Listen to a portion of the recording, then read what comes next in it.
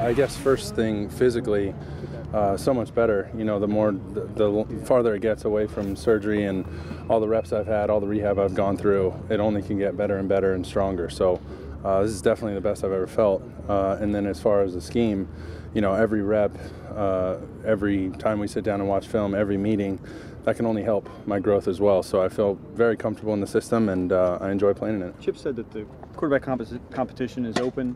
Um, what was conveyed to you when you signed, and what are your expectations when training camp starts? Do you expect to have snaps split between you and Sam with the first team? Uh, I don't know about you know repetitions and all that. Who gets what reps? Right now, we're just running with everybody. Um, everybody's getting chances to go with the first team or whatever you want to call first team guys who have potentially started or will potentially start. It's all over the board. So, uh, but when we get to camp, I mean, uh, coach didn't have to persuade me really. He didn't have to say anything special. It was just basically, hey, you're going to compete just like everybody else. So whether that was Nick Foles or now you know Sam and Tim and uh, Matt and GJ, it didn't really matter. I knew there was going to be competition coming in.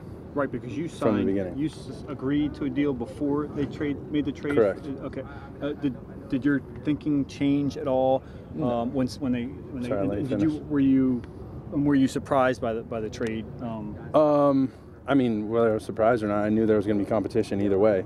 Uh, I had a great relationship with Nick, so I expected to compete with him. But when that didn't happen, I knew that Sam was going to be, you know, uh, another guy in the quarterback room, and all of us are competing to play. What were your thoughts when they brought Tebow over? Uh, that you know, coach has a good plan for everybody here, uh, and um, you know, everybody's competing as hard as they can, making each other better, and uh, you know, at, at, some point, coach is going to. Um, Coach Kelly and Ed Marynowitz are going to go through and pick the best 53 guys, form a practice squad, and then we're going to have our team. Is he different now than he was in 2012? Uh, I don't know. I don't like to compare either players or coaches or where I've been before and all that, so I'll stay away from that. So your thought wasn't again with the Tebow? no, I mean I'm just here to play well and compete and uh, have a good time, and that's easy to do with uh, with the staff we have and, and the players we have. We got a lot of good guys. You had said um, a little while ago that that you what Chip had told you was that Tebow was brought in to kind of supplement the fact that Bradford wouldn't do much during the spring. I mean, is that is that still your knowledge? I think that kind of came off the wrong way. At least it was a little um, um, not exactly what I intended to say, and so uh, it took on a life of its own. But uh, you know, listen, everybody's here for a reason. We're all working hard, trying to make each other better, and uh, you know, everybody's every, coach wanted specific guys here for a specific reason, and and that's up to coach. We just plug in and play. Mark, it doesn't seem like you have any question that if Sam is not ready at the beginning of the season, you're the guy, right? Oh, I don't. I mean, coach will make that determination at some point. Um, I'm not worried about. Uh, I don't want to say this the wrong way, so before I say it, uh, not worried about anybody's health. We want everybody to be healthy, but right. that doesn't affect how I prepare or, um, you know, I, I transition into this next season. You know, all of us come into that quarterback room, walk in the huddle, you act like you're the starter, and that's that's the only way I know how to play. And uh, as soon as you start thinking or counting reps, or I wonder if this guy's going to be healthy, then you're already beat. There's no point in being out here. So, uh, yeah, everybody wants to be the starter, and I'm no different. Mark, last year at this time, you were coming off the missed year and the shoulder surgery. And right. Everything. Now, looking back to, is there any comp- comparison how you feel now compared to then? Oh, I mean, a million times better physically. I just, uh, just going back and watching some of the film from last year. Mm-hmm I mean, I could see the zip on the ball. I could see, you know, that early OSP period where all that stuff was filmed with, without even a defense. And I'm throwing the flat and I'm looking at the plays, and now I know the plays, so I'm expecting that ball to be there now. And I'm watching this ball float across the screen. I'm like, man, I've come a long way since that, you know. So that's encouraging, and uh, hopefully it can only get better. But that's, you know, a tribute to a lot of people that helped me during my rehab, including the Eagles training staff. So legit last year, as far as getting the ball downfield and the accuracy there, obviously it was because you were coming back from not missing any year? I mean, obviously, anytime you're away from the game doesn't help. Um, then you're coming off an injury, that doesn't help either.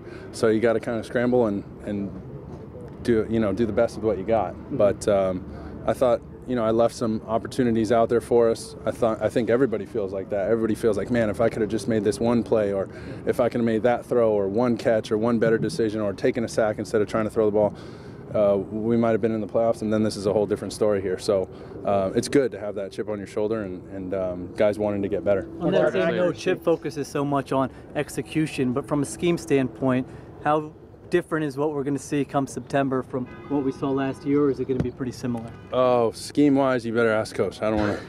I don't want to say too much there. We uh, we're we're always trying to improve. Let's, let me just say that. Mark, I- I your, your, your completion percentage went up Yeah, I Com- forgot to say that by the way. yeah, yeah, to 64% last year based off what you had And that done was a career-wise. crappy arm, so that's good.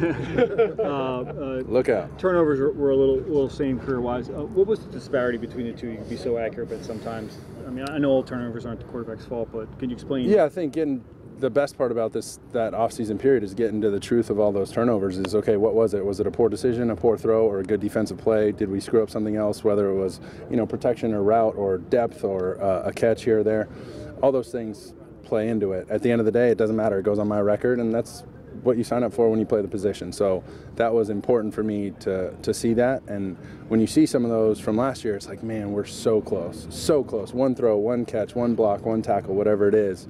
And uh, like I said, we could be we talking about a whole different season here. How many opportunities did you have to go somewhere else? And, and why? I mean, why come back here? You've talked about your love of this offense and playing for Chip. Um, I'm sure the compet- you know, the ability to come back and, and really compete for a starting spot was it a better chance here, perhaps at other places? Uh, I don't know about that. I don't want to get into, like I said, comparing about other things or contract negotiations and stuff. Were there other opportunities? Absolutely. Uh, did they look potentially good, better, similar, maybe worse? Potentially, yeah. There was there was some stuff out there, but uh, when I factored it all in, I just felt like this was the best spot for me. This I enjoy playing for Coach Kelly. I love this system. Um, I love the tempo. I love the pace.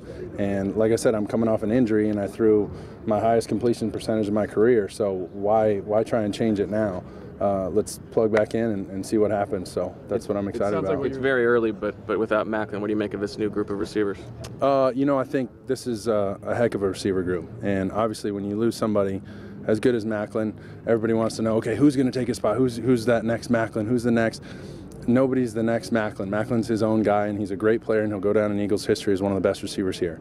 But these new guys, uh, whether it's Josh Huff, whether it's Riley Cooper, whether it's Miles, um, this Rasheed Bailey kid, all these guys, all these guys can pick up and make up the slack and all that kind of stuff. Uh, but it's going to be it's going to be exciting to see uh, who really takes over that role and, and who breaks out um, in that position group. But right now, they all look pretty solid. Two more for Mark. When that Bradford trade uh, went down and you saw the compensation that, that went to St. Louis in return and the kind of money uh, that, that comes with his contract, were, was the immediate reaction, I have a, an uphill battle on my hands here? I don't know about that. I mean, um, regardless of all, all that kind of stuff on the outside, I can't control, you know, Sam's contract. I'm not his agent. That- That stuff doesn't bother me. The most important thing is how do we do on the field? Who looks the best? Who's going to play? Whatever. Whether it's me, Matt, Tim, GJ, or Sam. So um, I, I think all of us treat that situation the same, and and uh, I think the coaches will too.